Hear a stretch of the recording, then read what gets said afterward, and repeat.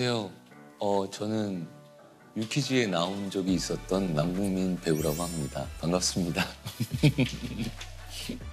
저희 사실 메이킹 할 때도 그냥 사랑해 주셔서 감사합니다 이렇게 했는데 모르겠어요. 여태까지 제가 찍었던 드라마 중에 제일 길었었던 것 같아요. 가장 길고 가장 고생도 많이 했고 촬영에 공도 많이 들여서 애착이 많이 남는 작품인데 저뿐만 아니라 안은진 배우와 함께 이렇게 호흡을 했던 작품이어서 뭐랄까 그 서사가 너무 아름다운 것 같아요. 그런 깊이를 보고 여러분들이 많이 사랑해 주신 것 같아서 너무 감사하고 어, 많이 애착이 가는 후배인 것 같아요.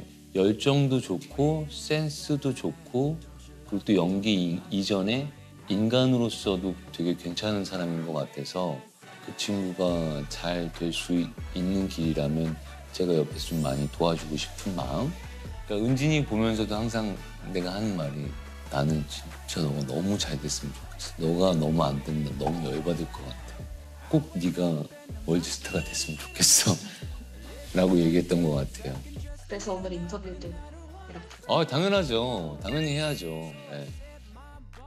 어, 남궁민 씨와의 호흡은 좀 어땠습니까? 아 선배님이랑 초반에 굉장히 좀 어색했고요. 선배님이 또 쉽게 다가가기가 전 후배 입장에서 조금 어렵더라고요. 처음에 되게 어려웠는데 이제 시간이 지날수록 선배님 공략법을 이제 알아가지고 아, 그거 어떻게 공략을 해야 됩니까, 남궁민 씨는? 1년 동안 짧지만 본 선배님은 어, 솔직하면 돼요. 그리고 선배님의 모든 말과 표현들이 우리 작품이 잘 되기 위한 방향성이기 때문에 아.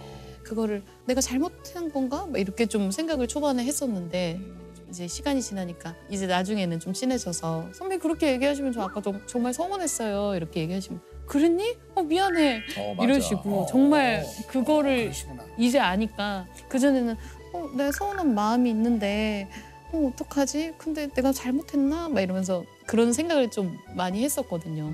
워낙에 또 촬영장에서는 이게 또 진지하고 네. 예, 진중하고 지금은 아 오케이 선배님 그게 맞는 것 같아요. 그 어, 근데 아까 그렇게 얘기하신 건좀 소심해서 서운해요 이렇게 마- 말씀드리면 그렇게 너무 편해져가지고 기억나요. 어떤 경우였는지 살짝 입이 좀 이렇게 나와 있더라고. 난잘 눈치가 모르니까 몰랐죠. 그래서 나중에 물어봤더니 제가 너무 직접적으로 얘기했대요. 음, 아 그랬니? 나는 나중에 이제 술 한 잔 먹고 얘기했더니 너무 말을 직접적으로 하신대요. 그래갖고 미안합니다. 그런 의도는 아니었습니다.